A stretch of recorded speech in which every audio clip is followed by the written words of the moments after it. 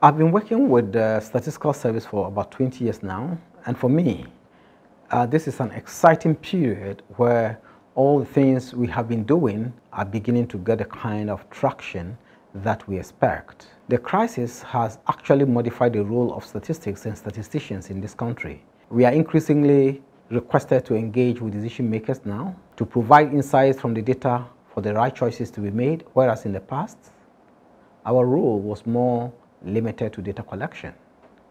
Now ministers and other decision makers want us to have a seat around the table, not only on COVID-19, but also on development policy generally. We realized that resource allocation was a cornerstone of the public response, ensuring that government interventions reached the right places in the right proportions. Suddenly, the appetite for numbers grew, and this for me is refreshing and important in the context of data to policy and data to impact. This helps us as a country to direct where the interventions are needed to save the lives that we have to save. Thank you.